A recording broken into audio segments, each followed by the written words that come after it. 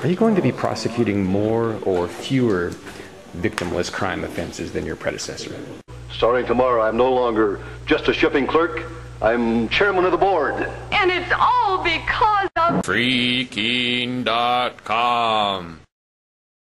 Government officials these days, it seems like. Uh, so.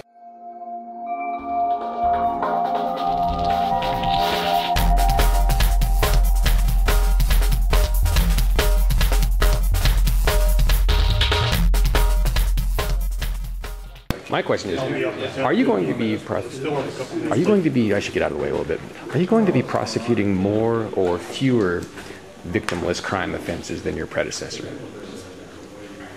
I'm not sure the question you're asking me. Do you need me to define? Do you need me to define? Yeah, yeah, yeah. Why don't you tell me? And who- And who are you with? It's Dave Ridley with RidleyReport.com. You can take a card out of this. If you can have, if you've got two spare hands, you can get a card out of that. And, and what But your uh, organization do? It's like a poor man's TV station. It's New Hampshire's number two YouTube channel.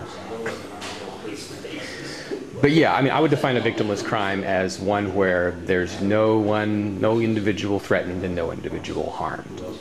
Uh, and certainly the state prosecutes people who have not harmed anyone, have not threatened anyone. so give me an example. Of, uh, Uh, marijuana possession or marijuana I mean, manufacturing. our office is really limited to prosecutions, primarily homicides and also uh, crimes which result in life imprisonment without possibility of parole or drug crime that can lead to a significant sentence. So I'm not really sure we're, um, we're, we're involved in types of things. I think that those questions might be better uh, suited for uh, county attorneys, and you know, I, I, think they're obligated to. Um, uh, you know, enforce the laws as passed by the legislature. If folks think there's victimless crimes, I think the legislature, you know, is the place to uh, seek reprieve. Well, you don't enforce the ban on Little League Sundays, and there is one still on the books, I believe. Well, I mean, I, again, our office wouldn't do. Right. Um, but so you you don't prosecute victimless crimes? Is that what you're saying?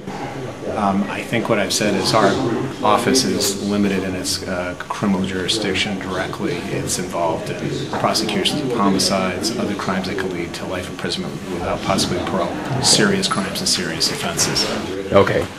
And, and I think what you're asking really is a political question to legislators. If- Yeah. I, I know there's a, a, a, folks who want to uh, decriminalize uh, possession and so forth. I think that's what you're, you're getting at. That's one thing, yeah. Uh, to what extent your, your predecessor was pretty good about standing up for the right of the people to record, uh, you know, officials and so forth. He issued a memo. Are you in support of that memo? Are you going to You know, I, I. I haven't read the memo. Um, I think government should be open and transparent. So I you did fine with me. So, all right. You not imagine how many times I've been hit and had the cam- camera Need to stuff. get in there All if right. they're going on to the substance of the meeting. All right. Thanks so Thank much. you. Yeah. Take care.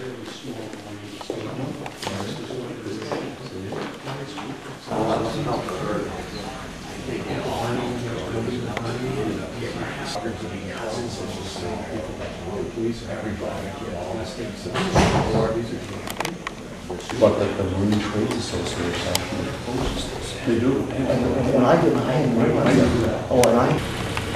Fred, I've got another question.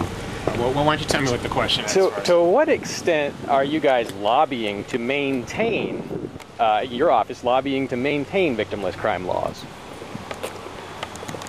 we testify on bills as they come before the legislature. That sounds like a yes, we do lobby to maintain victimless crime laws to me. You know, if you want to present specific laws with me that you want to ask about in bills, I can tell you where we testified. You understand I've been on the job about four months. Yeah. So I'm not sure what we've testified on and what not. So you're asking kind of a loaded question. I've never seen this happen. That's why I'm asking a question instead of making an accusation. Uh, I have seen testimony by you know your people against you know about you know things that I'm against, but uh, but I haven't seen that yet. That's why I'm asking. So you, you're saying that it does or doesn't happen? I think I said I started the job in May. The legislative session was over. Well, in the last so four in the last four months. There hasn't been hearings before the legislature that I'm aware of, um, other than some study committees. So, Okay. um, so I, honestly, I'm not aware of what the uh, department has come on to testify in or not. It tends to testify when there are changes in criminal justice matters, and will take positions. Thanks so much. Thank you. Appreciate it.